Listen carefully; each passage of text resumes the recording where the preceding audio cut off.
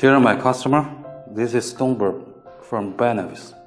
Today I will show you a small function for a multi-window view. Uh, that function is for if you have the multi cameras, you can view on the one page.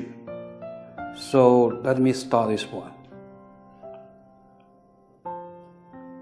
Same as before, let me start open the machine. Now I have machine already. So let me start to open this one, add another new one here.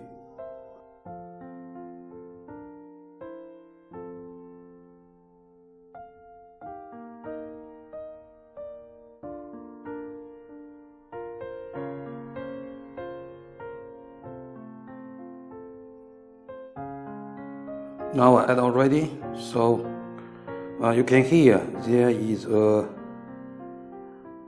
there are top here with a grid view windows. Let me open this one. Grid view function come out from the app so you can see here. We can click here.